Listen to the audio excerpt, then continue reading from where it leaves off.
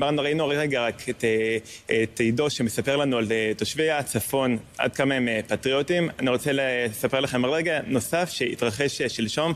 יערה כאן ראיינה לפני יומיים את כוכבת הילדים אביה ארנוי, ששיתפה אותנו בדמעות על כך שבעלה נמצא כעת במילואים, והיא נשארה בבית עם ארבעת ילדיהם. בעלה התקשר אליה, אמר לה שיש לו חבר, שמו קובי, והוא היה אמור להתחתן ביום רביעי שעבר.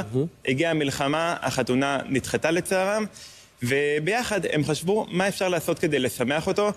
הם הציעו לו, למה שלא נעשה חתונה כאן בבסיס.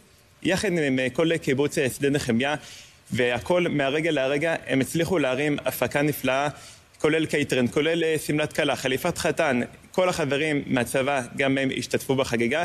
אביה אפילו הצליחה להביא את הזמר עקיבא, שילווה אותם לחופה. בסופו של דבר, הזוג הזה התחתן כדת משה וישראל. בואו נראה את הרגע הזה. יאללה. מהמם.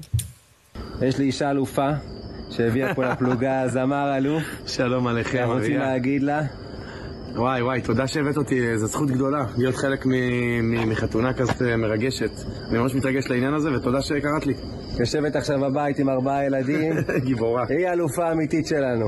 אני מבקש, תשמור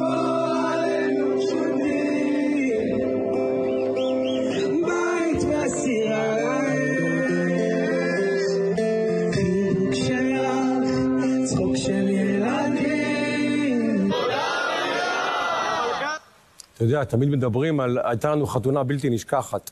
זו חתונה בלתי. נשכחת. אבל עקיבא גם זה- מגויס, אז אמר, נכון, זה גם מדהים. כן. גם... עקיבא נמצא זו במילואים. חתונה בלתי נשכחת. לגמרי. ודיברנו על כך שכל אחד אה, רוצה להתנדב בדרך שלו.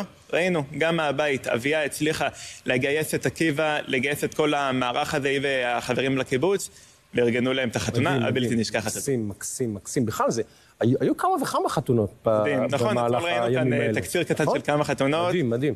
לדעתי אף אחד לא ישכח את ה-. את הרגע הזה.